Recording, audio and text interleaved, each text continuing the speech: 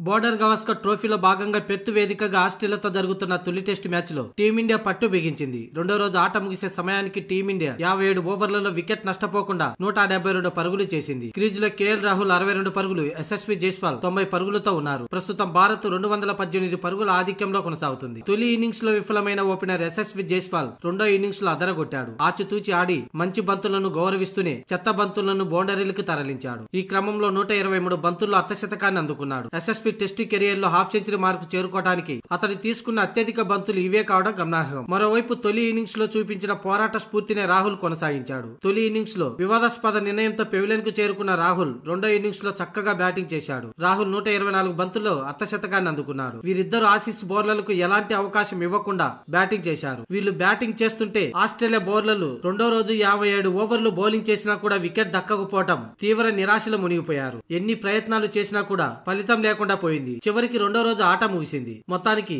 రెండో రోజు రెండో ఇన్నింగ్స్లో టీమిండియా యాభై ఏడు ఓవర్లలో నూట డెబ్బై రెండు పరుగులు చేసింది. భారత్ తొలి ఇన్నింగ్స్ ఆధిక్యాన్ని కలుపుకొని రెండు వందల పద్దెనిమిది పరుగుల లీడ్లో ఉంది. ఇక మూడో రోజు టీమిండియా పెత్తి పిచ్చిపై మరో నూట యాభై పరుగులు చేసి మూడు వందల యాభై పైన టార్గెట్ ఉంచగలిగితే టీమిండియాకు గెలిచే అవకాశాలు ఎక్కువగా ఉంటాయి. ప్రస్తుతం టీమిండియా చేతిలో పది వికెట్లు ఉన్నాయి కాబట్టి ఆసీస్ ముందు నాలుగు వందల టార్గెట్ ఉంచినా కూడా ఆశ్చర్యపోనక్కర్లేదు. ఇదే జరిగితే టీమిండియా తొలి మ్యాచ్లోనే విజయం సాధించే అవకాశం ఉంది.